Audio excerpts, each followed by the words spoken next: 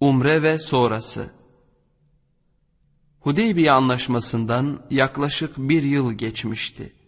Kureyş'in verdiği söze uygun olarak Peygamber sallallahu aleyhi ve sellem ve arkadaşlarının umre yapmak için Mescid-i Haram'ı ziyaret etme zamanı gelmişti. Ölen veya savaşlarda öldürülenler hariç içlerinde geçen yılki hacıların da bulunduğu toplam 2000 hacı vardı. Hudeybiye'de bulunmayanlardan biri de Beni Devs'ten Ebu Hureyre radıyallahu anh idi. Kabilesinden bir grupla Hayber'den sonra Medine'ye gelmiş ve ehli suffaya katılmıştı. Müslüman olduktan sonra adı Abdurrahman'a çevrilmiş fakat yine de çoğunlukla kedilerin babası anlamına gelen Ebu Hureyre adıyla anılmıştı. Bu ad ona Peygamber sallallahu aleyhi ve sellem gibi kedileri çok sevdiği ve yanında sürekli bir kedi yavrusu bulundurduğu için verilmiştir. Daha sonra Peygamber sallallahu aleyhi ve sellemin gözdelerinden biri olmuştur. Bu hac sırasında da Peygamber aleyhissalatü vesselam onu kurban develerinin bakımı için görevlendirmişti. Kureyşliler hacıların haram bölgeye yaklaştıklarını duyunca etraftaki tepelere çekilerek tüm vadiyi boşalttılar. Kureyş liderleri Ebu Kubays tepesine toplandılar ve oradan mescidi gözlediler. Oradan geniş bir alanı görebiliyorlardı. Şimdi uzun bir sıra halinde kuzeybatı geçidinden hacıların şehrin hemen altındaki vadiye girdiklerini görüyorlardı. Bir süre sonra çok eskiden beri gelenek olan bir söz duymaya başladılar. Lebbeyk, Allahümme lebbeyk, Allah'ım işte geldim, hizmetindeyim. Başları tıraşlı, beyaz giysili hacı kalabalığına en önde Kesva'nın üstünde olan Peygamber sallallahu aleyhi ve sellem ve yerde devesinin ipini tutan Abdullah İbni Revaha radıyallahu an önderlik ediyordu. Diğerlerinin de bir kısmı develerde bir kısmı ise yayandı. En yakın yoldan doğruca Kabe'ye yöneldiler. Herkeste belden yukarısını örten bir kumaş parçası vardı.'' Mescide girildiğinde Peygamber sallallahu aleyhi ve sellem üstündeki elbiseyi düzeltti. Omuzunu açıkta bırakarak kumaşı sağ kolunun altından geçirdi. İki ucu sol omuzundan çaprazlama geçirerek iki ucunu öne ve arkaya sarkıttı. Diğerleri de onun gibi yaptılar.'' Peygamber sallallahu aleyhi ve sellem bineğinin üstünde Kabe'nin güneydoğu köşesine doğru ilerledi ve asası ile Hacerül Esved'e dokundu. Daha sonra Kabe'yi yedi kat tavaf etti. Tavaftan sonra Safa tepesinin eteklerine gitti ve Safa ile Merve arasında yedi kez gidip geldi. Say adı verilen bu yürüyüş kurban develerinin yöneldiği Merve tepesinde son buluyordu. Peygamber sallallahu aleyhi ve sellem orada bir deve kurban etti ve Hudeybiye'de de aynı görevi yerine getiren Hiras'a başını tıraş ettirdi. Umre farizası burada son buluyordu. Daha sonra putlarla dolu olmasına rağmen Kabe'ye girmek niyetiyle Mescidi Haram'a doğru yöneldi.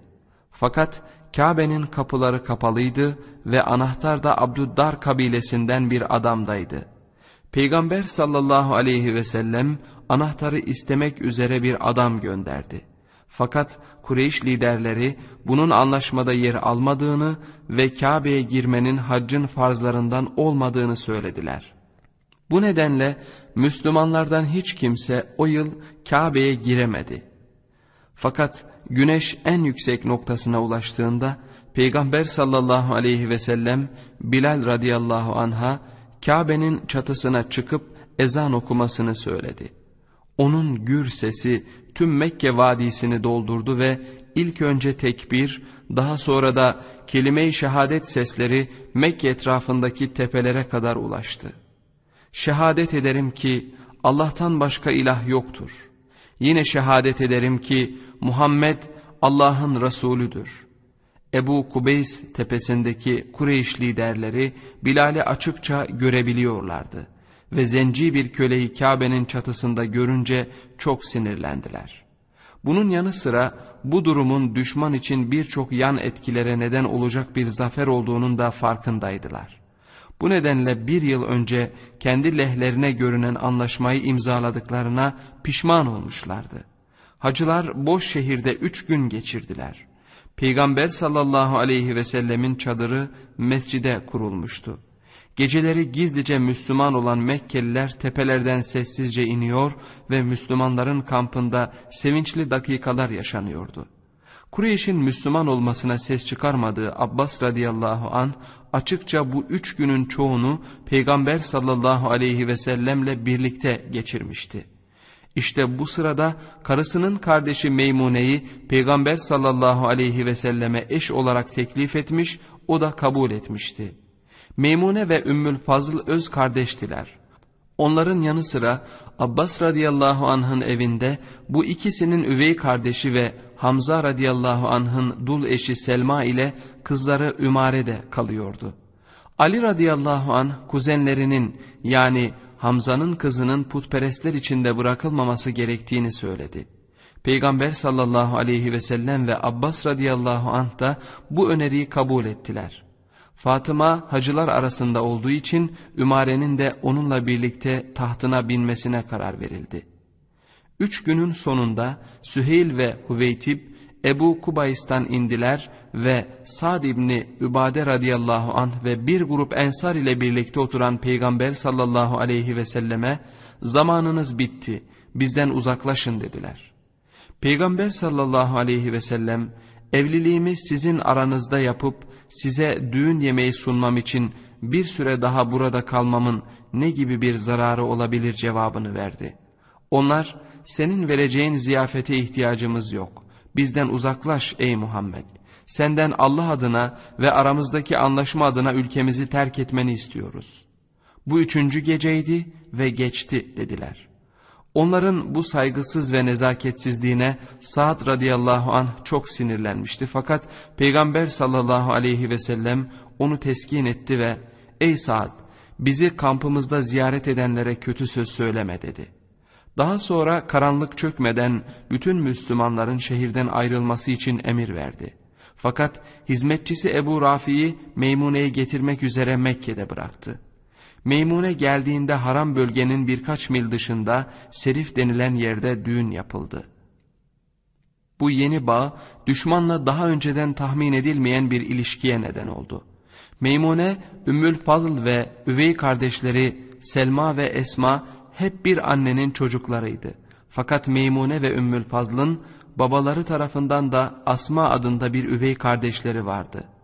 Mahzumlu Velid'in dul eşi olan Asma'nın Velid'den Halit adında bir oğlu olmuştu. Halit şimdi hanımının yeğeni olması nedeniyle Peygamber sallallahu aleyhi ve selleme akrabalık bağıyla bağlanmış oluyordu. Medine'ye döndükten kısa bir süre sonra bir gün Peygamber sallallahu aleyhi ve sellem öğle uykusundan ateşli bir tartışma sesiyle uyandı.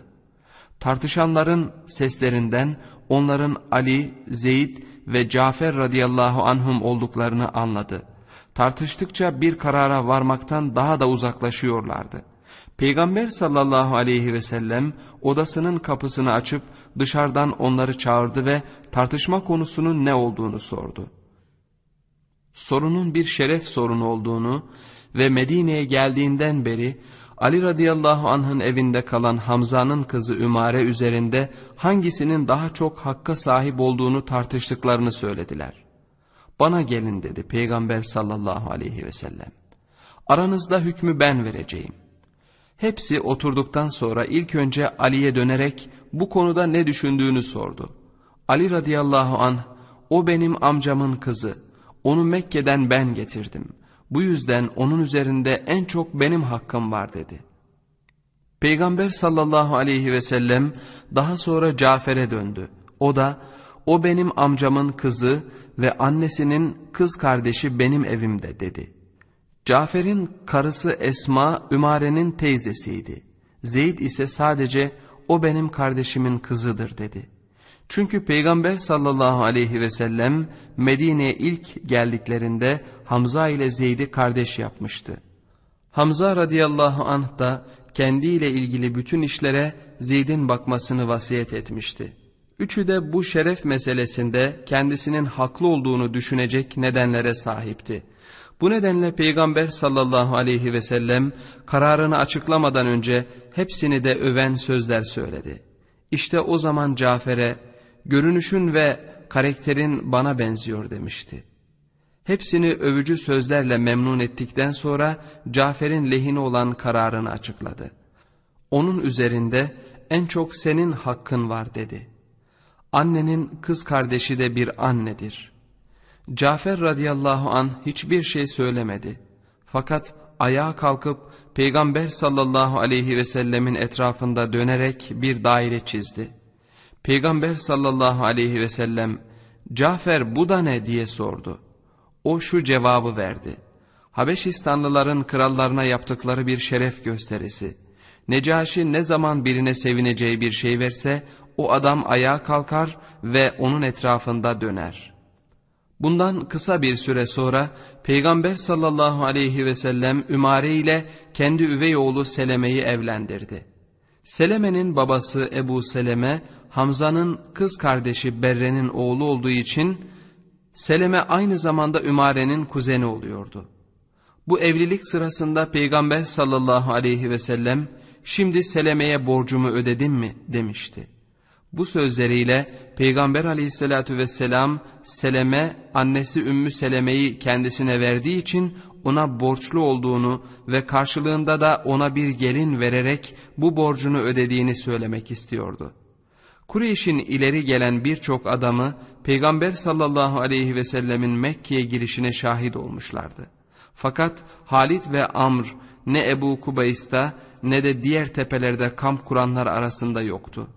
İkisi de Peygamber sallallahu aleyhi ve sellemin şehre yaklaşmasından kısa bir süre önce şehirden ayrılmışlardı. Ayrılış kararları birbirinden bağımsızdı ve ayrılma nedenleri de birbirinden farklıydı. Fakat bir noktada aynı görüşü paylaşıyorlardı. Hudeybiye anlaşması Peygamber sallallahu aleyhi ve sellem için moral bir zafer olmuştu ve onun Mekke'ye girmesi ona karşı dayanma gücünün artık yok olması anlamına geliyordu. Fakat Amr'ın İslam'a düşmanca tutumunda bir değişiklik olmamıştı. Oysa Halit birkaç yıl öncesinden beri kararsızlık içindeydi. Dıştan bakıldığında bunu görmek imkansızdı. Çünkü o Kureyş'in Peygamber sallallahu aleyhi ve selleme karşı yaptığı her savaşta yerini almıştı. Fakat daha sonraları Uhud'dan ve Hendek'ten dönüşte savaşın anlamsız olduğunu ve sonunda nasılsa Muhammed sallallahu aleyhi ve sellemin zafer kazanacağını düşündüğünü itiraf etmiştir. Peygamber sallallahu aleyhi ve sellem Hudeybiye'ye giderken onun süvari birliğinin gözünden kaçıp gidince de Halid radıyallahu an bu adam gerçekten korunmuş diye bağırdığını söylemiştir. Bu onun İslam'a karşı giriştiği son hareket olmuştu. Bundan sonra da Müslümanlar Hayber'de zafer kazanmışlardı. Halid'i meşgul eden başka tür düşünceler de vardı. Kendisine rağmen Peygamber sallallahu aleyhi ve sellem için kişisel bir sevgi besliyordu. Ölmeden önce kardeşi Velid'in kendisine bıraktığı mektuptan da Peygamber sallallahu aleyhi ve sellemin kendisini sorduğunu ve eğer o güçlü enerjisiyle putperestlere karşı İslam'ı desteklerse kendisi için çok iyi olur. Biz de onu diğerlerine tercih ederiz dediğini öğrenmişti. Velid de ey kardeşim işte neleri kaybettiğini gör diye eklemişti. Bunların yanı sıra bir de ailesindeki bazı değişiklikler Halid'i etkilemişti.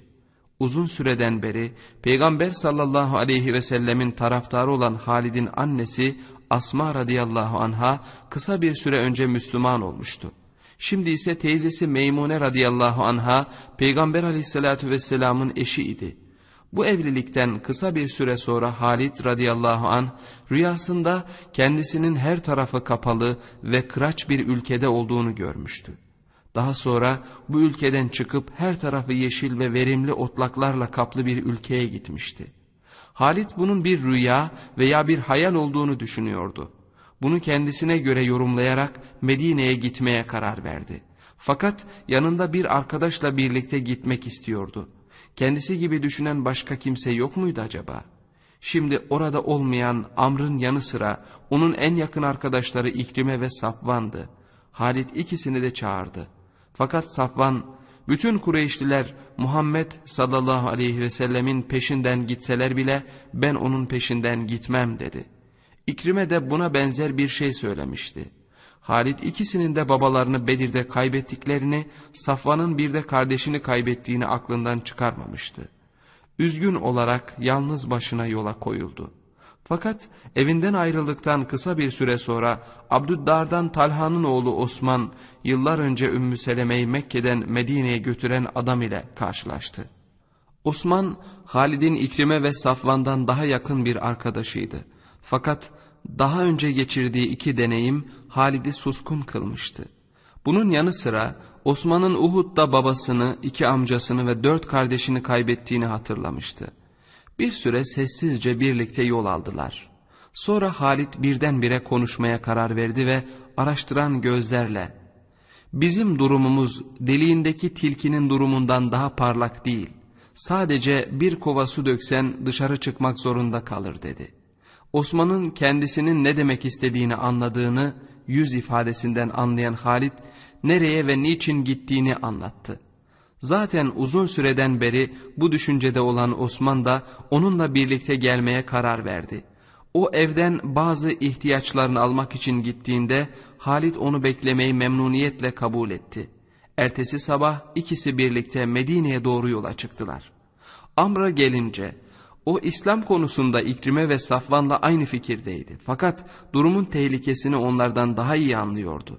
Bu nedenle kendisini bir lider gibi kabul eden Sehil ve diğer kabilelerden bir grup genci kendisiyle birlikte Habeşistan'a gitmeye ikna etti. Onlara eğer Muhammed sallallahu aleyhi ve sellem sonuçta zafer kazanırsa kendilerinin emin bir himaye altında olacaklarını, Kureyş kazanırsa tekrar Mekke'ye dönme imkanlarının var olacağını söyledi. Muhammed sallallahu aleyhi ve sellemin yönetiminde olmaktansa Necaşi'nin yönetiminde oluruz dedi. Diğerleri de onu doğruladılar. Amr akıllı bir politikacı ve kolayca yılmayan azimli bir adamdı. Cafer radıyallahu anh ve arkadaşlarının güçlü etkisini yok sayarak yaptığı büyük hataya rağmen o, Müslümanların adını anmadan yıllarca Necaşi ile ilişkilerini devam ettirmişti. Şimdi Müslümanlar o ülkeyi terk etmişler ve Medine'ye gitmişlerdi. Amr onların gitmesiyle Necaşi'nin yeni dine duyduğu ilginin de yok olduğunu zannediyordu. Huzura ilk çıktığında götürdüğü deri hediyeler memnuniyetle kabul edildi. Necaşi o denli memnun gözüküyordu ki Amr himaye istemeye karar verdi. Fakat izni isterken Muhammed sallallahu aleyhi ve sellem'den küçümseyerek bahsetti. Ama bu kralın birdenbire çok sinirlenmesine neden oldu. Amr çok şaşırmıştı. Necaşi'nin söylediklerinden kendisi için bu ülkede bir gelecek kurabilmesinin deri hediyelerden çok Müslüman olmasına bağlı olduğu ortaya çıkıyordu. Bu himayeyi İslam'dan kurtulmak için istemişti. Fakat şimdi yeni dine karşı koyma gücü zayıflamaya başlıyordu. Muhammed sallallahu aleyhi ve sellemin peygamberliğini kastederek ''Ey kral buna gerçekten şehadet ediyorum.'' dedi. ''Ey Amr benim söylediğimi yap ve onu izle. Tanrı'ya andolsun o hak. Musa'nın Firavun ve taraftarlarına galip gelmesi gibi o da önüne gerilen tüm engellere galip gelecek.'' Tarih Amr'ın arkadaşlarının isimlerini ve ne yapmaya karar verdiklerini kaydetmemiş. Fakat Amr kendisini Yemen sahillerine götüren bir bota bindi. Sahile vardığında bir deve ve birçok yiyecek alıp kuzeye doğru yola çıktı. Mekke'den Medine'ye giden sahil yolundaki ilk konaklardan biri olan Hedde'ye vardığında Halid ve Osman'la karşılaştı. Yolun geri kalan bölümünü birlikte aldılar. Üçü de Medine'de sevinçle karşılandılar. Halit radıyallahu an peygamber sallallahu aleyhi ve sellem hakkında selamımı aldığında yüzü parlıyordu dedi. İlk biat eden Halit oldu. Allah'tan başka ilah olmadığına ve senin Allah'ın Resulü olduğuna şehadet ederim dedi. Peygamber sallallahu aleyhi ve sellem her zaman sende seni sonuçta iyiden başka bir şeye götürmeyecek olan bir akıl görürdüm. Ey Allah'ın Resulü dedi Halit. Hakka engel olmak için yapılan savaşların hepsinde sana karşı savaştığımı gördüm. Allah'a dua et de Allah bunları affetsin. Peygamber sallallahu aleyhi ve sellem İslam kendisinden önce her şeyi kesip atar dedi. Bu kadar çok olsa da mı dedi Halid. Hala yüzünde üzüntü izleri taşıyordu. Bu nedenle Peygamber sallallahu aleyhi ve sellem Allah'ım Halid'i senin yoluna koyduğu engellerin tümünde affet diye dua etti. Daha sonra Osman radıyallahu anh ve Amr radıyallahu anh da kelime-i şehadet getirdi. Amr daha sonraları o anda Peygamber sallallahu aleyhi ve selleme duyduğu saygıdan başını kaldırıp onun yüzüne bakamadığını anlatırdı. Amr'ın kardeşi ve Ömer'in kuzeni olan Hişam, Hendek Savaşı'ndan kısa bir süre önce Mekke'den Medine'ye kaçmıştı. Daha sonra ona Amr'ın oğlu olan yeğeni Abdullah da katılmıştı. Abdullah 16 yaşında bir gençti ve çok samimi bir Müslümandı. Çoğu günü oruçlu geçirirdi. Sahabe arasında en bilgili kişilerden biri olmayı da başarmıştı. Peygamber sallallahu aleyhi ve sellem ona kendi sözlerini yazma izni vermişti. Abdullah ve Hişam hep Amr'ın Müslüman olması için dua ediyorlardı. Bu nedenle Medine'de tekrar bir araya gelmeleri hem Amr hem de onlar için büyük bir sevinç unsuru oldu. Bu aylarda sevince neden olan olaylardan ikisi de Cafer radıyallahu an ve Ali radıyallahu anh'ın ağabeyi Akil radıyallahu anh ile Mut'im'in oğlu Cübeyr radıyallahu anh'ın Müslüman olmasıydı. Bedir'de alınan esirleri fidye karşılığı geri almak üzere geldiğinde Cübeyr'in kalbine yerleşen inanç artık bir kenara atılmayacak dereceye gelmişti. Akil radıyallahu an biat etmek için geldiğinde Peygamber sallallahu aleyhi ve sellem ona seni iki tür sevgiyle seviyorum. Biri bana akrabalık bağı olarak yakın olman, ikincisi ise sana amcam için beslediğim sevgi dedi.''